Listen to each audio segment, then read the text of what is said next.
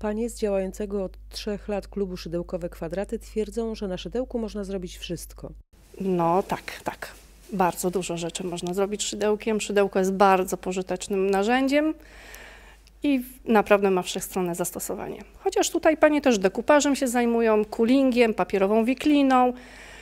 Mm, No też, no frywoli, do frywolitki też jest tam potrzebne szydełko, ale żeby już tak nie używać szydełka, to są właśnie takie techniki, które, które no są... y, O, kanzashi też nie, nie potrzebuje szydełka, także są różne, o, y, sutaż, także dużo, dużo tego jest. Tym razem wyruszyły z Centrum Informacji Kulturalnej, gdzie spotykają się raz w miesiącu, na sieradzki rynek.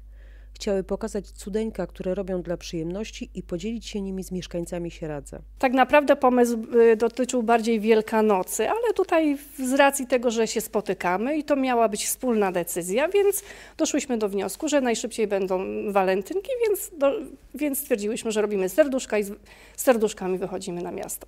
Kolorowe serduszka wykonane szydełkiem, uszyte ze skrawków tkanin i zrobione z papierowej wikliny panie zawiesiły na drzewach. Ozdobiły także fotel Antuana. Co państwo o tym sądzą? O takim pomyśle? Bardzo nam się podoba. Bardzo miła rzecz, bardzo przyjemna, coś pięknego. No naprawdę, tu z kolegą, z koleżanką żeśmy przyszli właśnie i czekamy na to. Czekamy na te serduszka właśnie.